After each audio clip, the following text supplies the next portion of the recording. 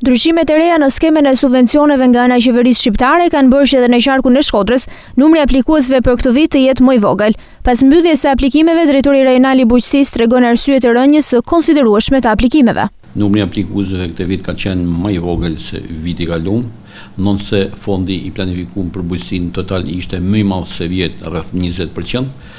Arsyeja e numrit të aplikuesve më pak këtë vit kanë qenë dy kritere të reja që janë vu nga Ministria e Bujqësisë që nuk ishin vitin e kalum, siç ishte pagesa, kryerja e pagesës energjisë elektrike për fermerët. Përpara ka kenë për vërtetimin e tokës ka kenë thjesht nga kryetari i komunës lshoi një vërtetim që e ka tokën në përdorim, kurse këtë vit ishte detyrimisht me certifikatë pronësie. Kjo ishte pak penalizuese për aplikuesit e e qarkut tonë. Ata që janë penalizuar më shumë janë fermerët e zonës së përmbytjes së para pesë viteve dhe Malësia e Madhe. Ishte një pjesëmarrje e vogël kjo do ta detyrojë fermerin tonë që në të ardhmen të jetë më i rregullt dhe të rritet pjesëmarrja e aplikuesve, veçanërisht e ka vujt më shumë zona e përmbytjes që është edhe zona që ka potenciale më të mdhaja për të apliku, pothuajse janë rreth mbi njëqind e pesëdhjetë fermerë që i plotësojnë tana kriteret e tjera, por duke qenë se nuk kishin plotësu detyrimet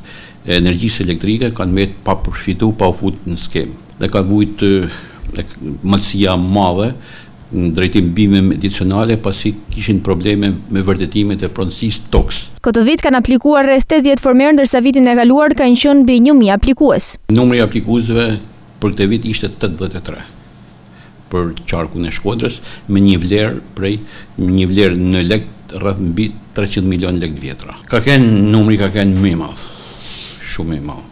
Por ishin këta dy kriteret që thash më që ishin penalizuese për fermerët. Ndryshimet për aplikimin në skemën e subvencioneve synojnë që të formalizojnë aktivitetin e fermerëve për vitet e ardhshme.